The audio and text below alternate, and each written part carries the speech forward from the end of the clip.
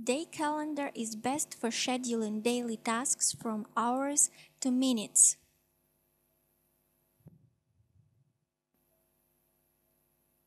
Week calendar is good for planning tasks for a work week. Month calendar is meant for making a month schedule. Time grid is used for charting long-term tasks.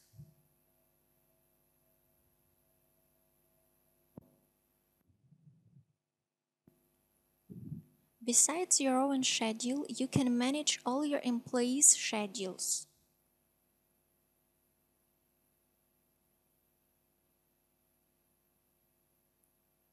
Also, you can set filter to show and manage your team schedules only.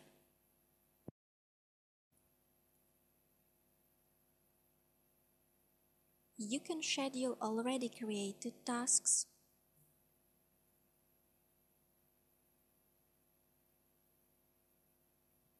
or create new tasks for a specific time. You can resize task duration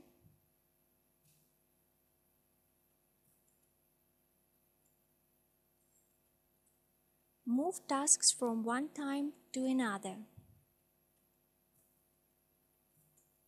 as well as from one user to another.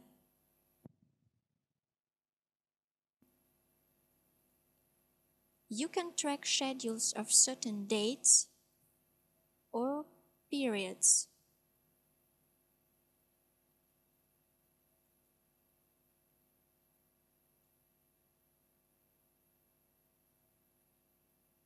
You can focus on tasks to be done or make a report of completed tasks and print it out.